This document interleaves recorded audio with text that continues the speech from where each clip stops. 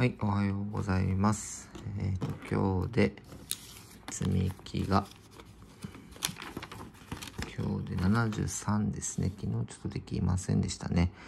えっ、と、今日が9月の15日ですね。えっ、と、73と。これですね。73日目となります。さしこちゃんです。始めたいと思います。よろしくお願いします。おはようございます。えー、っと、で、こっちですね。猫展開催中です。今日はお前の展お休みです。明日ですね。16日金曜日、明日ですね。明日が、えー、っと、営業日となって、ま、営業日となっております。で、明日以降が17、18、3日間続けてなんですよね。16、明日16が金で17が銅。18が日3日間連続で開催あ開催じゃないよ営業予定なんですけどちょっと台風がね台風がちょっとね怪しいんでちょっと待った。詳しくは大前の店のインスタグラムをご確認ください。日曜日あたりがちょっと怪しいかなって話を選手としてますよね。店主ねはい今日店主がいます。よろしくお願いします。滑舌がいいですね。で今日はもう喋るぞって感じですか？大きめに。えっ、と、じゃあ行きましょうね。えっ、と、昨日がちょっとできなくて、で、今日ですね、えっとね、コメントもいただいてて、ちょっと待ってね、読みやすいように、えー、っとね、コメントもいただいているので、コメント読みながらいきましょう。えー、っと、結構、なんかすごい長い、長いのが来てますね。話音さんから、話音のんきな手芸の話音さんからコメントをいただいてます。これは、えー、っと、前々回の動画かな？前回じゃなくて、前々回の、ね、前々回の動画ね、でいただいてます。こんにちは、と、こんにちは。えっ、と、頭痛薬の話、あ、頭痛薬ね。頭痛薬が、頭痛薬を飲んでて、副作用が頭痛薬だった、副反、副作用で頭痛が起きたっていうのがあったんですよね。その話したんです。その話のしおんさんね。で、頭痛薬の話ですが、えっ、と、豚腹薬、過去豚腹薬は、薬の名前ではないですよと、過去笑い。ね、薬の名前じゃないっていうことです。えっ、と、豚腹というのは、えっ、と、過去、〇〇の時だけ飲んでくださいねという意味。わあ、そうなんですね。豚腹薬って薬の名前じゃなくて、じゃあ何になんで、なんですかね。えっ、と、豚腹薬は、何々の時だけ、〇〇の時だけ飲んでくださいねっていう意味の名前ってことか。豚腹薬って。ああ、じゃあ豚腹薬にもいろいろあるってこと？何に？ああ、7の時だけ飲んでくださいっていう名前、意味としての名前ってことですね。ああ、知らなかったね、それね。豚腹、豚腹って。豚腹薬をなんか飲んでたっていうので、豚腹って頭痛薬じゃなくて解熱鎮痛剤じゃないんだっけって話をしてたんですよね。その時の動画でね。で、名前じゃないみたいです。で、えっ、と、薬は、括弧1日3回毎食後、丸々日分、開始括弧など、続けて服用するのは内服薬、内服薬っていう名前。ああ、そういうね、続けて服用するのを内服薬という名前で、痛む時だけ、かっこ痛む時だけ、かっこ熱が出た時だけ、過去回分というのが豚腹薬。ああ、その内服薬っていうカテゴリーっていうかそういう意味合いの言葉と一緒ってことね。豚腹薬、内服薬。あで、塗り薬は、なんて言うんだろう。外用、外用薬。外用薬と分類されます。詳しいですね。なんかやってたんですかね。詳しい、みんな詳しいの？これ。こういうの知ってんのみんな。わかんないけど。だから、豚腹薬、内服薬、外用、下、下、外用薬。いや一応読み方わかりませんけど。と分類されますって書いてます。ちなみに、喉が痛い時に処方されるトローチは口に入れますが、外用薬。あ、だから塗り薬と同じような外用薬。外、下、なんて、なんていうんですかね。外用っていうんですか。下用、外用。まあ、なんか外、外に用、用意するのようですね。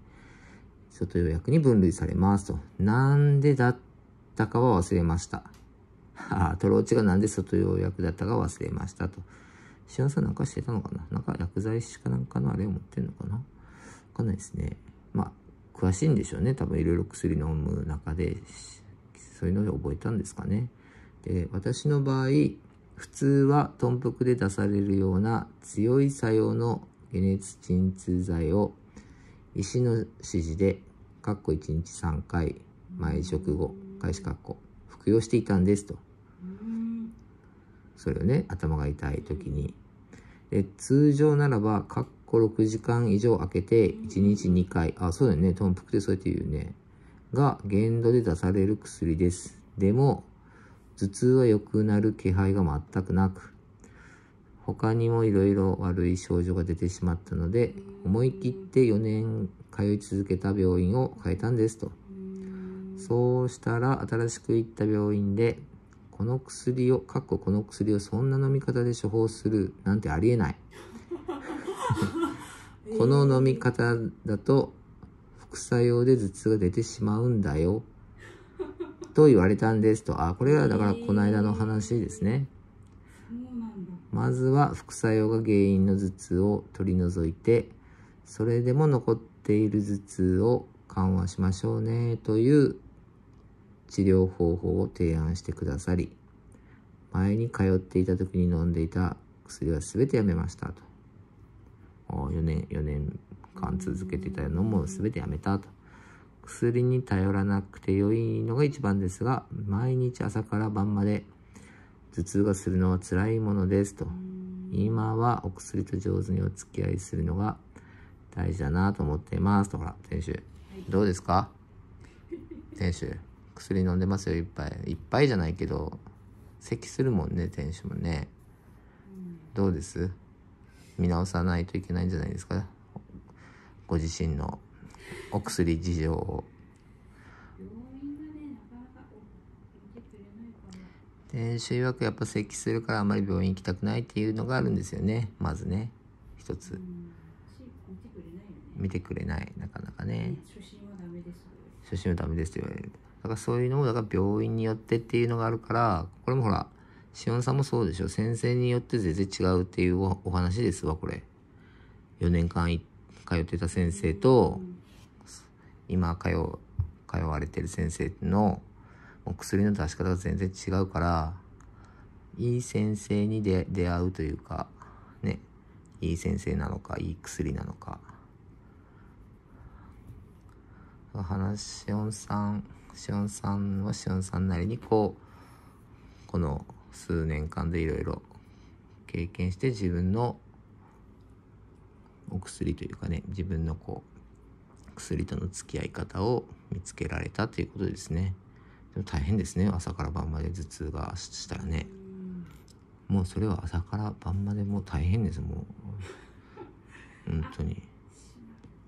何ですか？急に「あ」とか言わないで店主はもうさ「おあ」の声が大きいからもう今差し込みミスした声です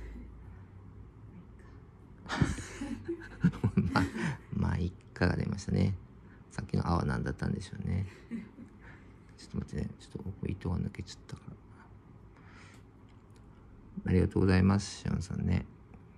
そうなんですね。豚腹って、そういう意味なんですね。僕も解熱鎮痛剤のことを豚腹っていうのかと思ってました。違うんですね。〇〇の時だけ飲んでくださいねっていう意味なんですね。ご勉強になりましたね。あ、豚腹豚腹言うからねわ。かんないですよね薬もねいっぱいあるからねはい、じゃあ次行きましょう。ありがとうございました。じゃあ次。で、次が、また花しおんさんから。これも、しおんさん、これ、さっきの前々回で、これ前回。で、猫店。これ店主もいたやつですね。猫店通販開始しますっていうタイトルでいただきました。おはようございます。と、おはようございます。人前で話すときに声が震えてしまう。これ、そういう僕の話ですね。声が震えてしまうの、すごくわかりますと。私もそうですと。おそうなんですね。で、私は仕事をして、あ、仕事してないんですね。仕事をしていないので、もちろんプレゼンなど、えっ、と、大きな舞台に、大きな舞台、大きな舞台にても、これ役者、役者の、役者目線でしたね、これね。大きな舞台に出ることはないのですが、子供の学校の PTA 役員の挨拶など、10人程度が輪になって自己紹介をしましょうというような場面で声が震えてしまいます。あ、そうです。僕もだからそういうやつだったんですよ。子供の保護者会のやつでね。えっ、と、声が震えてしまいますと。順番も、かっこ、次の次だ。点々、次だ。点々。と、どんどん近づいてくると、心臓がバクバクしてしまいますと。ね、一緒ですよ。そして自分の名前を噛んで、噛んで、噛んでしまったりしますと。ああ、緊張のあまり。もう最初の第一声でもかん名前で噛むと。ね、面接なんかも昔からダメでしたねって書いてますね。でなのに、人前で喋るような役が当たってしまうんですと。ああ、そうなんだ。当た当たるんですね。えっ、と、来年度、学校役員になることがすでに決まっているの。もうすでに決まってるんだ。決まっているので、もうこのことでしょうね。人前で喋るような役が当たってしまうんですっていうね。もう決まって、決まったんですね。また自己紹介をしなければならないかと思うと、それだけで憂鬱ですと。ああ。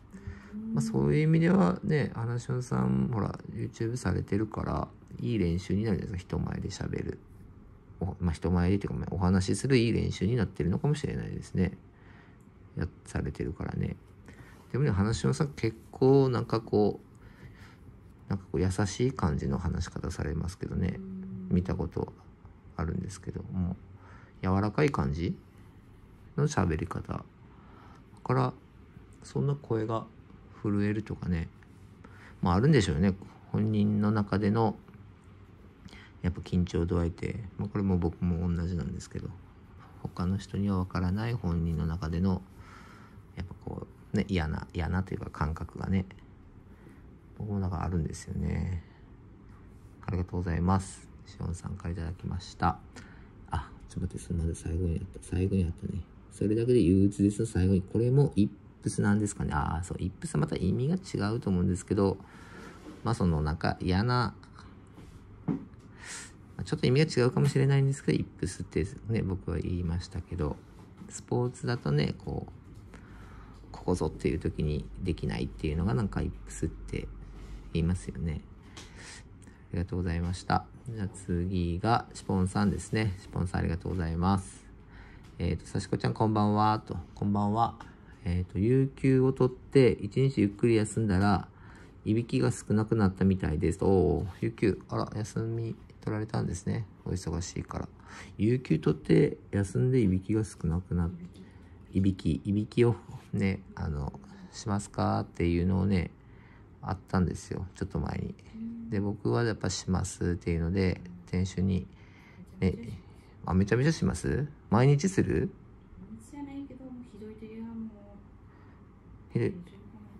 大丈夫あ、そうなんですね。そうそう、だからその、話したのは多分疲れてる時疲れてる時とあとその寝る体勢でするんじゃないかなっていうのを自己分析で店主に言われるっていうのは話したんですよね。で、えっ、と、シポンさんもするみたいで、で、なんか、シポンさんもひどい時はこう起こされて、違う部屋で寝るみたいななんかことだったんですよね。で、その、なんだっけな、あるはテープあれをしたりするっていう話をしてて、で僕はまだテープはしたことないけど 買ってるの？あそうなの？あそうなの？あそうあテープ買ってるんですか？100均であったから。100均で買ってるんですか、うん100均のやつ。僕のいびき100円でどうにかなるとでも思ってるんですか？これちなみにき昨日というか知ってた？まあ、ね、あんまり睡眠時間がめ長くなかったから。してないっていうかそれも覚えてない。もう熟天使は熟睡してるんでしょでもあのこの間ちょっと話したんですけど僕ほら朝早いからであの一番気持ちがいい朝方にいびきっていうことないじゃん。だからこう寝ついたぐらいの時だよね。多分気づく気づくのは。あ天使枠こうお酒を飲んだ日によくする週末だね。週末にしか飲まないからね。子供たちもね。笑う時がああーそれほら最初でしょ？うん。あもう子供も寝る直前ぐらいの時に先に寝たらってことでしょ？ああそうね。でガーって言うからね。そうだからそれも話したのよ。自分のいびきをこう気持ちがいい時寝るか寝ないかのこう狭間の時に聞いたことがあるって話もしたんだけどでももうほとんどやっぱ分かって知らないからね自分のいびきはねねそういう話をしてあすみません話は途中でえっといびきが少なく1日休んだら有給取って休んだら1日えーといびきが少なくなったみたいですと。あ、書いてますわ。あと、鼻に貼るテープですが、値段が高いものに変えたら効果が出てきましたと。お、だ100均じゃダメ。100円、100円ぐらいで治ると思うなっていうことです。簡単に治そうと思うなってことですね、多分ね。高いのがいいんですか。えー高いけどね、普通の。もう高いものもっと高いのかな。なんか僕が見たのはなんかまあそのいっぱい入ってるんでしょうけどテープがその箱に入ってな600円700円ぐらいするからその枚数に対してこう1枚何円だって計算したら高いなって思ったんですよね。でその下に書いてやはり粘着の強さが違うあ高いのは粘着の強さが違うみたいですねああそうなんですね。あって書いてますね。あ、ちなみに旦那もいびきを書いてますが、あ、もうこれどっちも書くんですね。シフォンさんもね。旦那さん書かないんじゃなくて書くんですね。あ、書くんですが、えっ、と、旦那もいびきを書いてますが、あまりうるさくはないですね。と、あシフォンさんはうるさくないと思うってことですね。で自分のいびきはわからないから、旦那さんに言われるのは、結構ひ結構するってことですよね。えーっと、その下ですね、次。さしこちゃんは人前、あ、これもさっきの話ですね。さしこちゃん人前で話すと声が震えちゃちゃうっておっしゃってましたが、私は緊張して、どもりが出ちゃうので困ってます。かっこ笑い。どもりってなんだっけ？どもりってどういうことだっけ？なんか、ブツブツ言うみたいなことだっけ？いや違うなどもりってなんだっけ？えっ、となんて言えばいいのかな言葉がなんていうのあ、言葉がうまく言えないってこと？出ててなんだこう噛むとは違うの？声が震えるとちとも違うんだね。どもりってなんだっけ？なんかあんまりピンときてない。どもる。なんかどもるって言うよね。まあ、まあ、一回どもりが出ちゃうって困ってますとかっこ笑い。おじいさんもひどいどもり、ひどいどもりだったので、多分遺伝ですねと。遺伝っていうのがあるんですね。飲食店で注文する時でさえどもってます。このどもってがあんまり分かってないから、飲食店で注文する時にどもってしまう。ちゃんと伝えられないってこと？どういうことかな？どもりが分かんないな。どもりって言うよね。同じこと言ってるけど、さっきと同じこと。で、学生の頃の演劇部の顧問の先生には、下が普通の、下ね。下が普通の人よりも長いんだろうって言われてましたね。言われてみれば確かに口の中で下が折れ曲がって収納されてる気がします。どういうこと？ちょっとよ、ちょっともうなんかよくわかんないな。確かに口の中で下が折れ曲がって収納されてる。もうそういうのもなんかちょっと別の爬虫類系のなんかそういう、どういうことですかね。もう。まあ、か、あまあか下、が長いって過去笑いだから、まあ、ちょっと冗談っぽく言ってるってことかな。と思う？まあまあ、っていうのがあるんですね。ともりか。まあでもみんなね緊張する人の方が多いよねそのねまあ緊張してないいい人でもやっぱ緊張するっていうねこう見た目には分かんない人でもね。で全く緊張しない人もいるよね本当に。ね。シポンさんはあらいびきいび きの話と どもどもりの話とまあまあありますよね。それぞれね。こう気になることがね。どもりか。なんかちょっとこ調べてみてういや調べああ調べてなんか動画で。どういうことかな。噛むとは違うんだよね。あのほら芸人の人で滑舌が悪いとかあるじゃん。ああいうのとも違うんだよね多分ね。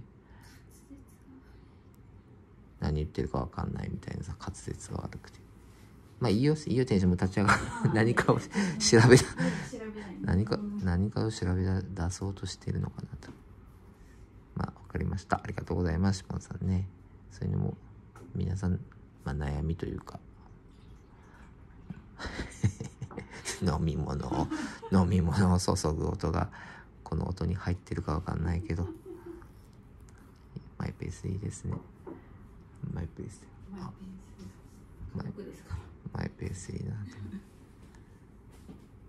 うだから店主もほらちょっと話を戻しますけどこう咳をするから薬薬をちょっとこうね一回良くなったんだけどね薬をお母さんに聞いてこれがいいよって言っての飲み出したらき治ってまそのは春の春大体春と秋にするけどその春の分が長かったよね春の分が長くて治ったと思ったらもうすぐ秋になったからもうもう秋の分が始まったよね。秋の分っていうかなんか寒暖差寒暖差寒暖差アレルギーってあるよね。うん。なんかそういうの。なんでしょうね。本当なんでしょうね。だもん遺伝だと思うけどかたくなに遺伝じゃないっていうからね。遺伝だと思う。遺伝で咳を出るのするわ。ね店主の母さんも結構なせ咳をするから。かたくなに遺伝を認めない。遺伝ですよ。えーとじゃあここまでして今日こ終わりにしましょうかね。コメントありがとうございました。コメントくださった。しぽんさんと話しおんさんね。ありがとう。雨が降ってきたね。うん。聞こえますかね。雨が今今日さっき晴れてて晴れたり雨が降ったりで、ね、上の子には傘持って行ってた方がいいよって言って傘を渡してた時にはすごい晴れてたから多分納得いかずに傘を 持たされたと思う思うんですけどでも本当に今日今ね今みたいにいつどのタイミングで降るかが分かんないからね。よしじゃあここまでにしましょう。そうよね。晴れてる時に傘持たされたら納得いかないよね。多分ね。なんでまた晴れてる晴れ晴れてるでしょ。ね。荷物が多くなるし晴れてるでしょって。思うけどもしょうがないね。親心ですよね。よし。はい。じゃあ今日は以上となります。ご視聴ありがとうございました